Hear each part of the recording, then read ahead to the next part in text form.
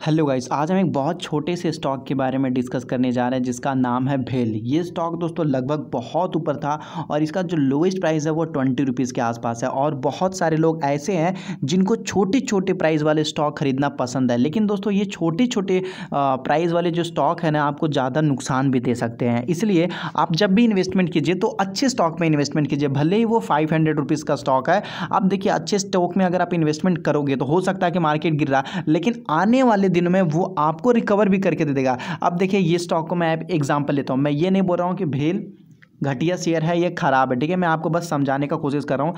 अब ये देख लीजिए, मैं आपको ये मैक्सिमम दिखाता हूँ इसका चार्ट।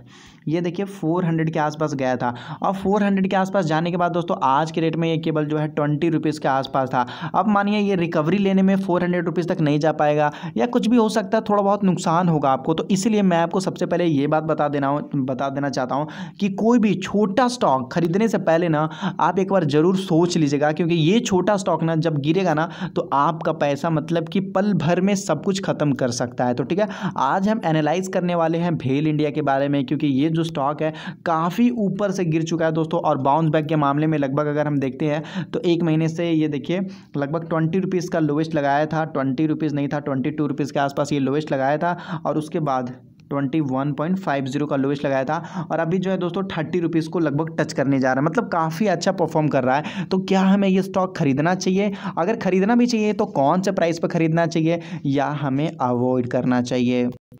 तो किसी भी कंपनी में हमें पैसा लगाने से पहले ये तो ज़रूर चेक कर लेना चाहिए कि भाई उसका ई e क्या है। ई e का मतलब होता है अर्निंग पर शेयर अब अर्निंग पर शेयर क्या होता है वो मैं आपको समझा देता हूँ। देखिए, आप किसी भी बैंक में सपोज़ मान लीजिए एफडी करवाने जाते हो तो आप वहाँ पर पूछते हो ना कि भाई यहाँ पर इंटरेस्ट हमें कितना परसेंट तक मिल सकता है? फाइव परसेंट सिक्स परसेंट या सेवन परसेंट कितना तक मिल सकता है? तो आपको जहाँ रेट ऑफ़ इंटरेस्ट एक्स्ट्रा मिलता है मतलब ये ज़्यादा मिलता है पहले वाले से तो आप उसके पास जाना पसंद करते हो। अगर इससे भी ज़्यादा ये दे रहा तो आप इसके पास जाना पसंद करते हो। तो उसी तरीके से दोस्तों, हम देख रहे हैं ईपीएस मतलब अर्निंग पर शेयर वो आपको शेयर में मतलब कि इक्विटी में कितना आपको कमा के दे सकता है, ठीक है? तो क्वार्टर वन में जो था ट्वेंटी ट्वेंटी का, ये जो एक्सपेक्टेशन है, बताया जा रहा है, ठीक है? तो दोस्तों अर्निंग पर शेयर जो था missed by one eighty nine point twenty three percent के आसपास, ठीक है? और ये जो टू है, उसके बाद E P S missed by thirty five उसके बाद यहाँ देख लेते हैं ट्वेंटी फाइव के आसपास है। तो लगभग अगर अभी भी हम देखें तो कंपनी नुकसान में चल रही है। और उसके बाद देखिए, ऊपर में हम चलते हैं तो cost of revenue cost of revenue लगभग ट्वेंटी वन परसेंट के आसपास नेगेटिव में है।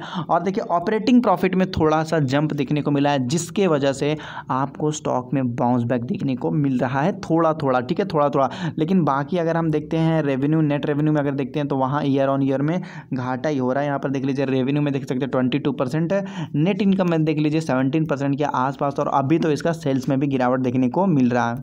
अब हम चेक करेंगे, ठीक है, अब हम चेक करेंगे कि जिस प्राइस पे ये चल रहा है अराउंड ट्वेंटी सेवन रुपीज़ के आसपास ये चल रहा है। क्या अगर इस प्राइस पे ख़रीदते हैं तो ये शेयर सस्ता है या महँगा है? मतलब कि अगर ये बहुत ज़्यादा ओवर वैल्यूड है या अंडर वैल्यूड है, वो भी चेक करना ज़रूरी है, ठीक है? इज़ भेल वर्थ बाइंग क्या हम इसको ख़रीदने के लायक है?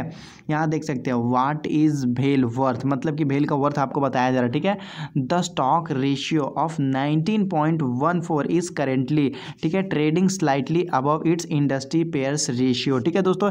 यहाँ पर आपको बताया जा रहा है पेयर्स रेशियो मतलब इस कंपनी के जितने भी साथी है मतलब इसी सेगमेंट में जितने भी कंपनी काम करे उसके हिसाब से यहाँ पर बताया जा रहा फोर्टीन के हिसाब से आपको बताया जा रहा which means if you buy भेल electronic today you'd be paying a relatively fair price for it मतलब कि दोस्तों, आप एक अच्छे प्राइस पर खरीद रहे हो उसको इसका मतलब है आप एक अच्छे प्राइस पर खरीद लो। अभी देखिए ट्वेंटी का लोएस्ट बनाया था और ट्वेंटी सेवन के आसपास है। तो ये कोई प्राइस अगर आप देखोगे तो बहुत अच्छा है, क्योंकि दोस्तों, ये लगभग फोर हंड्रेड से गिर के आज के रेट में ट्वेंटी सेवन पर मिल रहा है और ऊपर से कोरोना वायरस की वजह से स्टॉक का प्राइस और भी गिर चुका है। तो ऐसे स्टॉक पर फोकस कर रहे हैं, सही है। लेकिन क्या बल्क में पैसा लगाना चाहिए? सपोज़ अब हमें ये पता है कि हाँ सही है भाई ट्वेंटी सेवन जो प्राइस है वो सही है।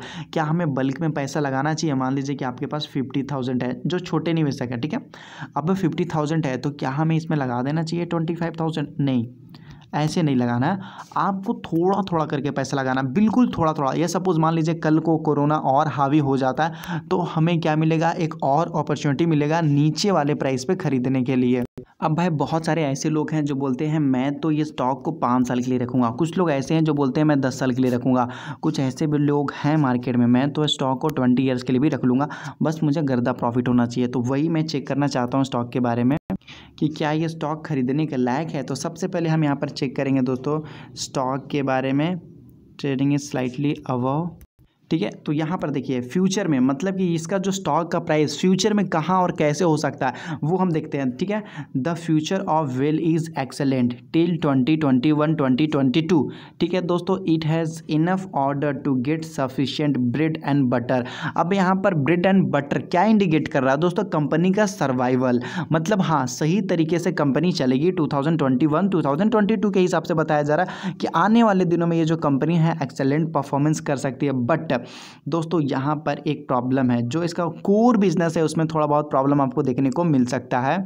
तो इसका जो कोर बिज़नेस है दोस्तों, वहाँ पर यहाँ देख सकते हैं but seeing the market of thermal power plant in future risk of losing core business is high मतलब कि दोस्तों, ये कोर बिज़नेस को खो सकता है तो वहाँ पर इसको थोड़ा बहुत नुकसान का सामना करना पड़ सकता है। इस वजह से अगर आप इस स्टॉक को खरीदते हो तो मुझे नहीं लगता कि आपको बल्क क्वान्टिटी में खरीदना चाहिए, क्योंकि कुछ ऐसे लोग हैं बहुत सारे पैसे लगा देते हैं और जब फंस जाते हैं तो फिर सोचते हैं निकलने के लिए तब बहुत ज़्यादा लेट हो चुका होता है।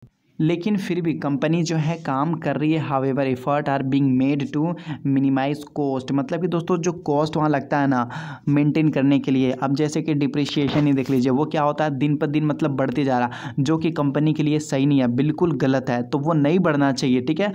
और ऊपर से दोस्तों, ये क्या कर रहे हैं? क्वालिटी को इम्प्रूव करना चाहते हैं टाइमली डिलीवरी करना चाहते हैं। तो क्वालिटी को अगर इम्प्रूव करना चाहते हैं तो ये अच्छी बात है, लेकिन जो इनका कॉस्ट है, वो बहुत ज़्यादा लग जा रहा है। इस वजह से कंपनी में ज़्यादा से ज़्यादा नुकसान देखने को मिल रहा है।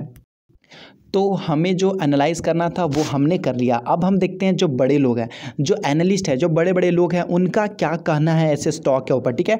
तो दोस्तों, यहाँ पर देख सकते हैं फाइव मे ट्वेंटी ट्वेंटी को ट्वेल्व ट्वेल्व ओ के आसपास ये बताया जा रहा था कि जो भेल का टारगेट बताया जा रहा है, वो दोस्तों थर्टी सेवन रुपीज़ के आसपास है और ये ट्वेंटी रुपीज़ के आसपास है। दोस्तों, अगर थर्टी सेवन मान लीजिए फोर्टी तो हो सकता है पैसा आपको डबल करने की क्षमता रखता हो। लेकिन अभी जो ये स्टॉक है ऑलरेडी मान लीजिए कि ऑलरेडी मान लीजिए दोस्तों ट्वेंटी सेवन रुपीज़ के आसपास चल रहा है।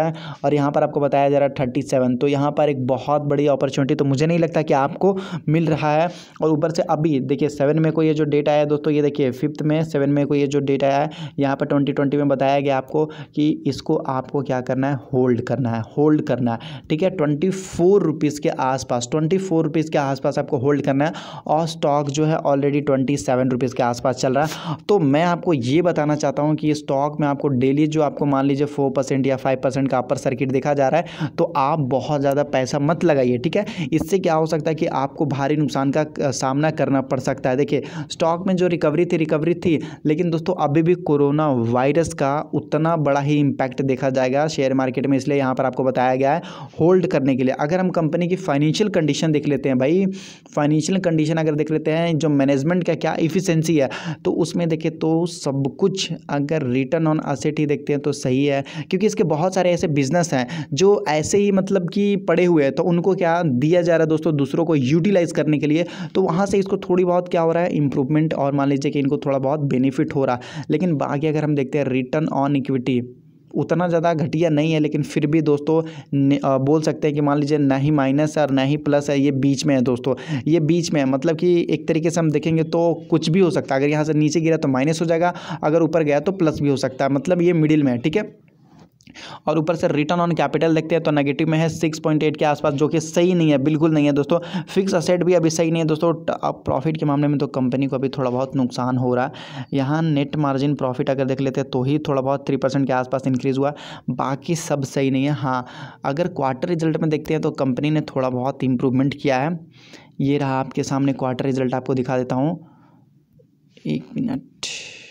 हम्म, ये क्वार्टर रिज़ल्ट है, ये वन ईयर का रिज़ल्ट है। तो सेल्स में अगर हम देखते हैं तो वन ईयर में लगभग ट्वेंटी थ्री परसेंट के आसपास नुकसान हुआ है। और अभी देखते हैं दोस्तों तो टेन परसेंट के आसपास कंपनी को नुकसान हुआ है, ठीक है? ये रहा टेन परसेंट के आसपास।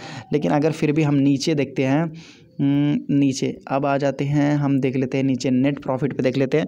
तो ये जो वन ईयर का लाइन है, यहाँ पर लगभग सेवनटीन परसेंट का नेगेटिव रिटर्न है और यहाँ पर देख लेते हैं तो दोस्तों थर्टी थ्री परसेंट का जो है प्रॉफिट है। इसके वजह से कंपनी में थोड़ा बहुत आपको हलचल और प्रॉफिट देखा जा रहा है। तो मैं नहीं चाहता कि अगर आप पैसा लगाते हो, सही है, लेकिन बहुत ज़्यादा पैसा लगाना गलत होगा मेरे तरफ़ से, ठीक है? तो कुछ भी करने से पहले प्लीज़ आप अपने फाइनेंशियल एडवाइज़र से एक बार ज़रूर कंसल्ट कर लीजिए। और ये जो दोस्तों कोरोना का अभी टाइम चल रहा, इस टाइम मुझे लगता है कि थोड़ा बहुत हमें कॉन्सियस होना चाहिए और किसी भी स्टॉक में ज़्यादा पैसा लगाने से पहले एक बार ज़रूर सोच लेना चाहिए। ठीक है? तो अब आते हैं मुद्दे की बात पे। अगर आपको डीमेट अकाउंट ओपन करना है तो दोस्तों एंजल ब्रोकिंग में आप अपना डीमेट अकाउंट ओपन कर सकते हैं। जो डिस्क्रिप्शन में आपको लिंक मिल जाएगा, बिल्कुल फ्री ऑफ़ कॉस्ट आपका अकाउंट ओपन होगा दोस्तों। अगर आप डिलीवरी में काम करते हो तो यहाँ पर आपको फ्री ऑफ़ कॉस्ट जो है, आपको एक भी रुपया जो है यहाँ पर ब्रोकरेज नहीं लगेगा। और आप एंजल ब्रोकिंग के बारे में सोच सकते हो, यहाँ पर आपका जो सेफ़ रहेगा अकाउंट, यहाँ पर सेफ़ रहेगा। और हो सकता है दोस्तों यहाँ पर ऑटोमेटिक जो आपको ये दिया जाता है सपोर्ट लेवल दिया जाता। है मान लीजिए आपको कौन सा स्टॉक खरीदना है, कौन सा स्टॉक नहीं खरीदना, वो एंजल की तरफ़ से आपको सपोर्ट दिया जाएगा, ऑटोमेटिक जब उनका होता है तो दोस्तों वो आपको खुद दे देते हैं, ठीक है? तो डिस्क्रिप्शन में लिंक है, आप वहाँ से जाकर अपना डीमेट अकाउंट बिल्कुल फ्री ऑफ़ कॉस्ट ओपन कर सकते हैं।